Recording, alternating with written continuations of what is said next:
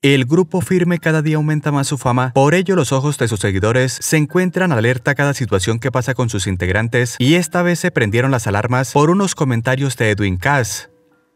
El vocalista del grupo firme preocupó a sus seguidores al manifestar que encontró una bolita debajo de su cuello muy cerca de la garganta y por esto el cantante se mostró inquieto al no saber de qué se trata.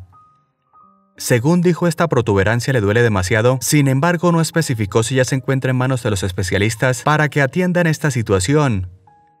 En ocasiones anteriores, Edwin Cass ha comentado que en la temporada invernal su sistema inmune no trabaja bien, por eso suele enfermarse de su sistema respiratorio, algo que lo ha llevado varias veces al hospital, por lo anterior se mantiene haciendo nebulizaciones para mantener su voz en buen estado.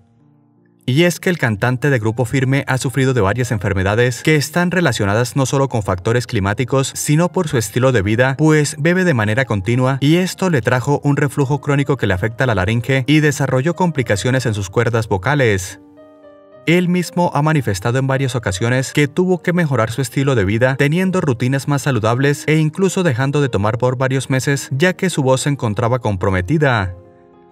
De igual manera ha comentado su alergia al veneno de las abejas y esto lo descubrió por una picadura de este insecto por el cual tuvo que salir del escenario y tuvieron que atenderlo. ¿Qué piensas del cantante Edwin Cass? Déjanos tus comentarios.